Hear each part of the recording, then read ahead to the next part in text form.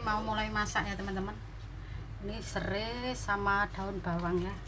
Ini mau bikin bumbu tambahannya dulu ya.